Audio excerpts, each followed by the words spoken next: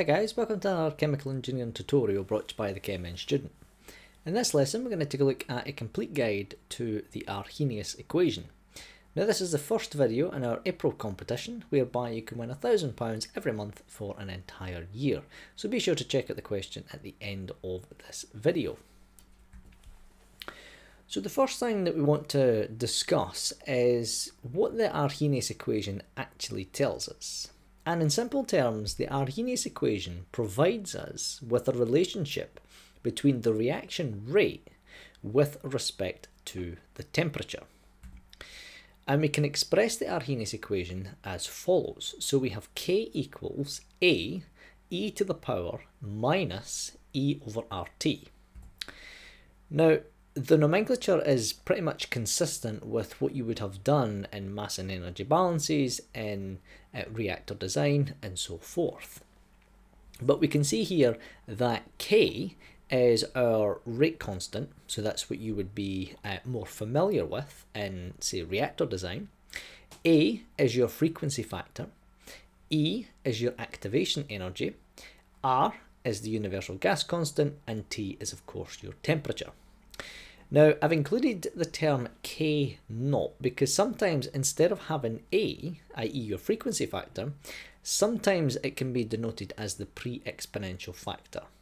So these are just some of the considerations um, if you see a different uh, way of writing the Arrhenius equation.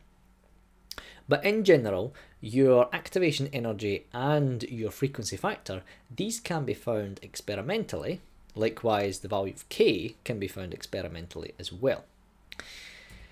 Now, the question is, how does this actually apply to, say, reactor design or a kinetic study?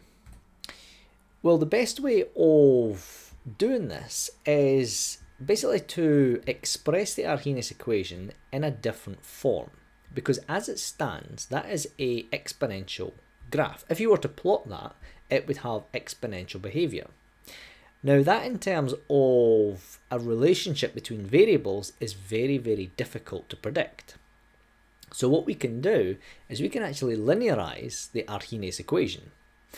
And the way that we do that is basically just applying the standard laws of logs. So what we can do is take logs of both sides. So we'll take ln of k is equal to ln of the entire right hand side. Now the laws of logs tell us that when we have two terms that multiply together, we can break them in half and give them their own independent log. So that's what we'll do. Now that then allows us to cancel out this log and this exponential. And that's how you basically go about linearizing the equation. Because now we have ln of k equals ln of a minus e over rt. So what we've now created is a linear equation in the form y equals mx plus c, which is incredibly valuable for us because what we can now do is make a plot of the rate of the reaction with respect to time. But in order to do that, we need to just express this in a slightly different form. And the way that we do that is we isolate, so we're keeping the ln of a and the ln of k. But these are exactly the same things, but what I'm doing is we're isolating the x-axis term from the other variables. So I've just expressed it as e minus e over r multiplied by 1 over t, because now that is in the complete form y equals mx plus c.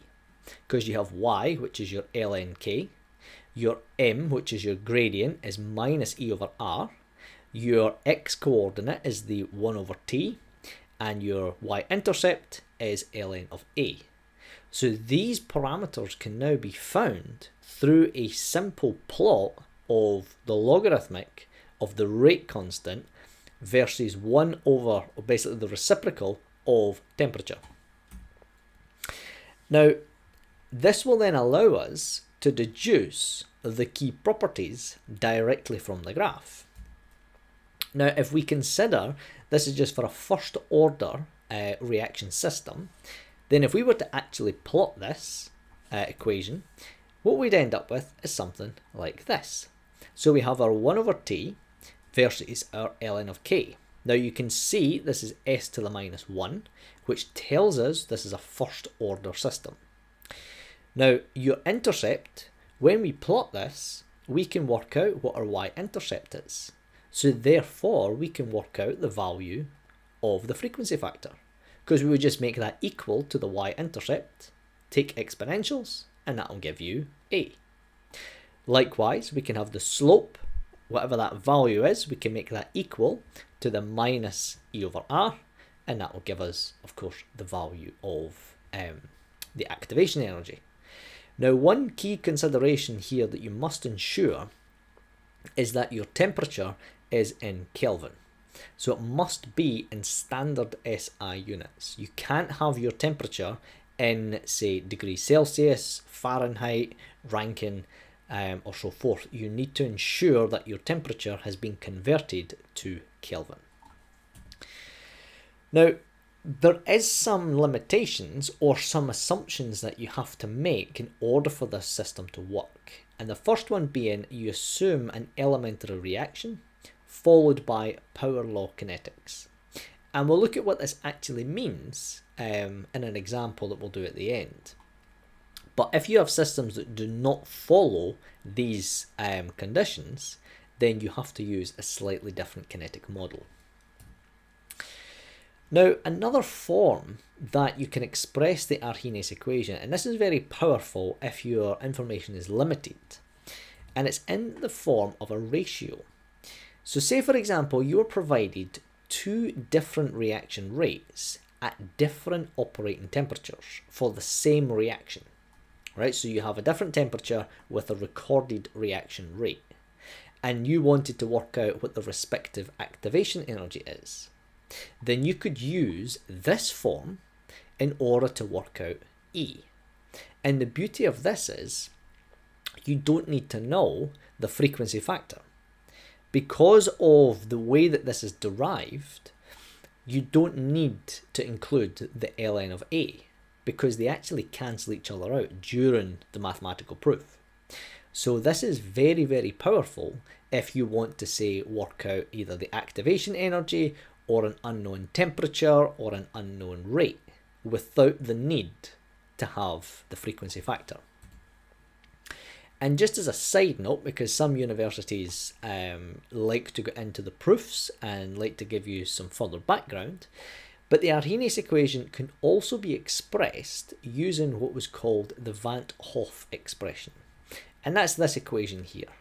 Now, this is indeed out with the scope, of this particular tutorial, but it provides us with information relative to the enthalpy of the reaction with respect to um, the rate constant. Still a function of temperature, but the full derivation we won't um, we won't do that here. But just so that you're made aware that these are um, interchangeable and can be expressed in a similar format. Now, when we look at the kinetics analysis of the Arrhenius equation, you're probably most familiar with it in terms of mass and energy balances or reactor design. Now, we'll take a look, this is just a purely fundamental example of how the Arrhenius equation can be integrated to, say, a reactor design question. So say, for example, we have the overall second order reaction which takes place in an isothermal batch reactor. We want to derive the material balance with reference to the Arrhenius equation. So in order to do this, we need to apply the general mass balance. So that would be your accumulation is equal to in minus out, plus or minus the generation, plus or minus transfer. Now we're a batch reactor, so we can do some simplifications. We can get rid of the in and out flows, because we don't have any of them.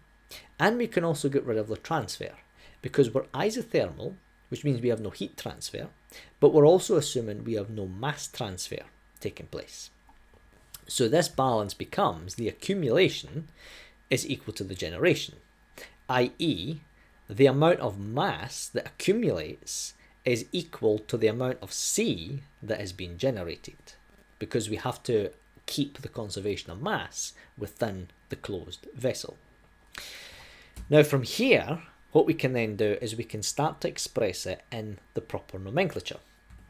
We can express the accumulation as the change in the concentration of A, so we're using component A as a reference, so we have dCA over dt, because that is with respect to time.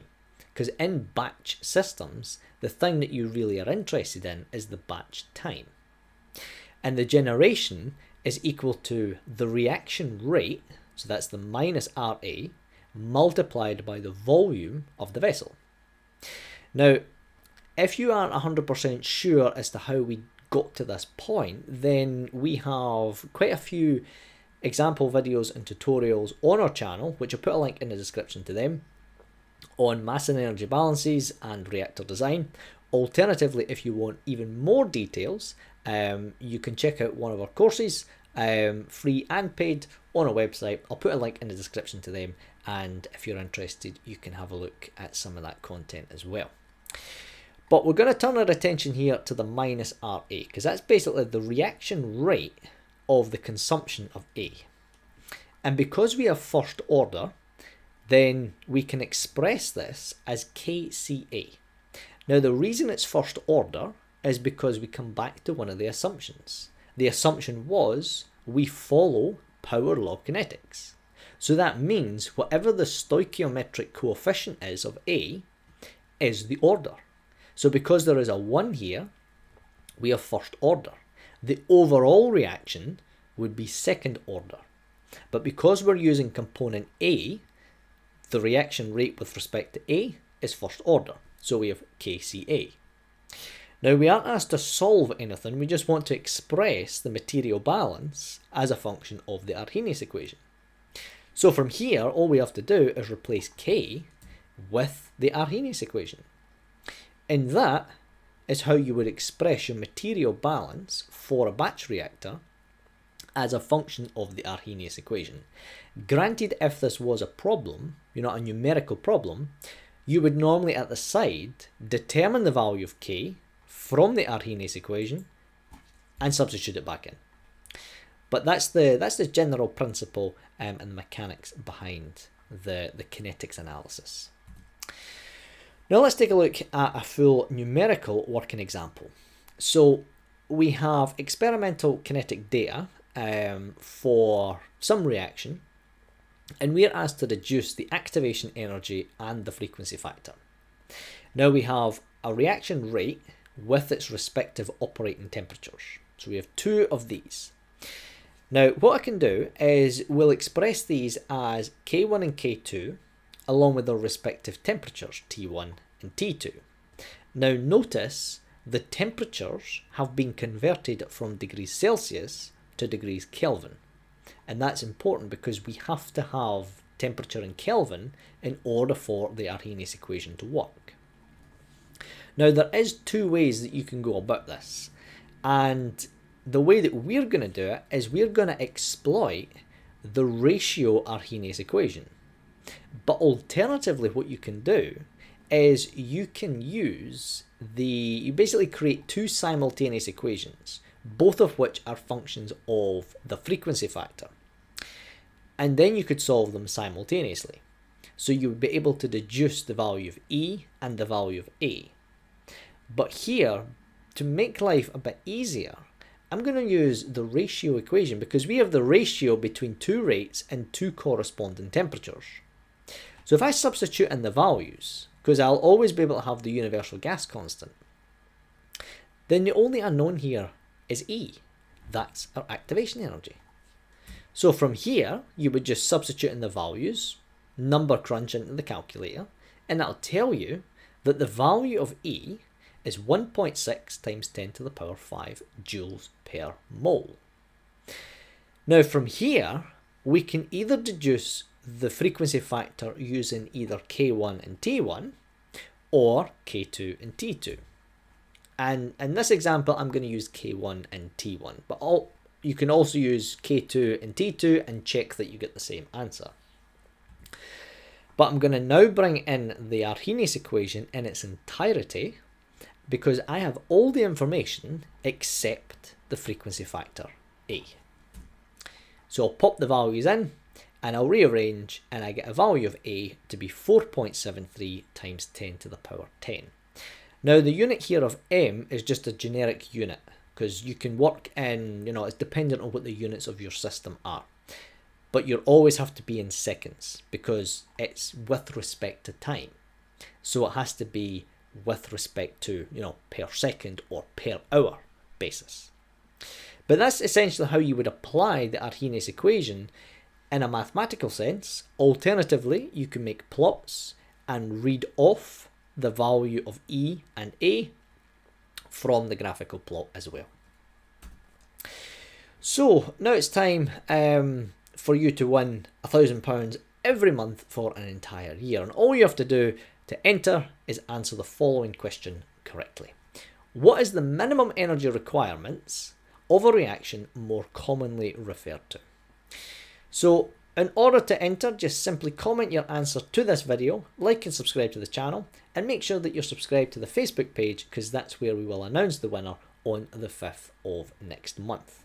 Entries end on the 30th of this month, so be sure to put your answers in before the deadline in order to be entered. So that's the end of this lesson. Thanks for watching. Hopefully this was helpful in understanding the concept and the idea of the Arrhenius equation. If you liked this video, please consider liking and subscri subscribing to the channel. It really helps us reach as many chemical engineering students as possible. Thank you for your time and we hope to see you in another video.